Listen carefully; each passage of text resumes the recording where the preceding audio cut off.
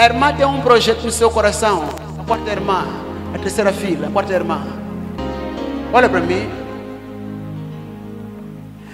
Não se preocupe se as pessoas não creem nisso.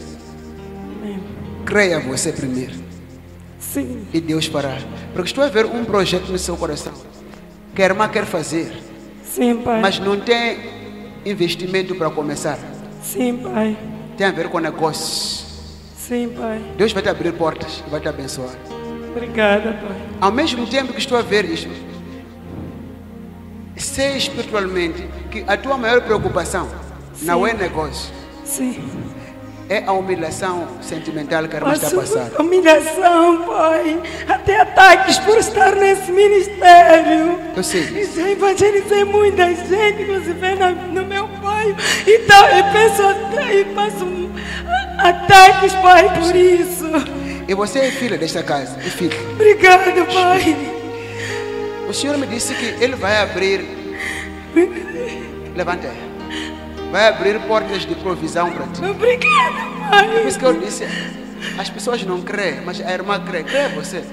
Não se preocupe com as pessoas. Vocês vão- Obrigada, pai. Elas vão falar o que quiserem, vão dizer o que quiserem. Tá ver, Deus deu boca a todo mundo. Obrigada, Cada um usa a boca como quer. Mas a irmã sabe no seu coração. A partir de hoje, toda humilhação vai ser descida. Obrigada. Estou a ver restauração e consolo. Estou a Obrigada. ver esse dedo com uma aliança de casamento. Obrigada, pai. Porque a irmã tem lutado para sustentar sozinha a família, Verdade. mas com muita dificuldade. É verdade, pai. Mas eu declaro, por favor, eu profetizo provisão e bênção para ti. Obrigada. Seja forte. O Senhor é contigo.